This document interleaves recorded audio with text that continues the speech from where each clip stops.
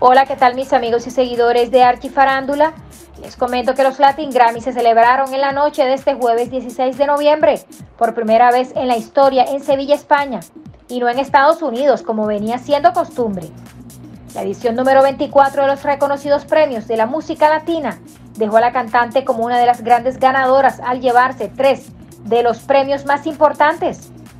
La cantante barranquillera se llevó premios como Mejor Fusión, Interpretación Urbana, Mejor Canción Pop y Mejor Canción del Año. Shakira es una de las grandes reinas de la industria musical y una de las mujeres más influyentes en materia de moda.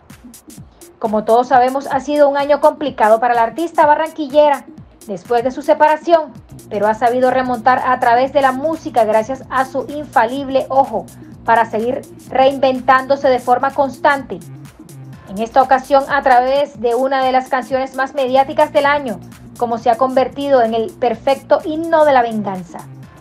La Music Section Volumen 53, más conocida como Patipos como tú, logró alzarse con el primer premio de la noche y la, la, artista aprovechó para hacer un discurso inesperado para agradecer a España y al público que haya estado ahí en lo bueno y en lo malo. La cantante luego de dejar Sevilla, España, llegó a Barcelona, ya que un medio español la captó entrando a su mansión en Espulés de Llobregat en un carro muy lujoso, en donde llegó en compañía de sus hijos Milan y Sasa y su inseparable hermano Tonido Mebaraca. De hecho, su expareja y padre de sus dos hijos, Gerard Piqué, llegó a buscar a Milan y a Sasa. Estuvo un largo tiempo afuera de la casa esperando a los pequeños, hasta que el asistente de Shakira le permitió resguardarse de los medios catalanes que estaban a las afueras haciéndole una serie de preguntas.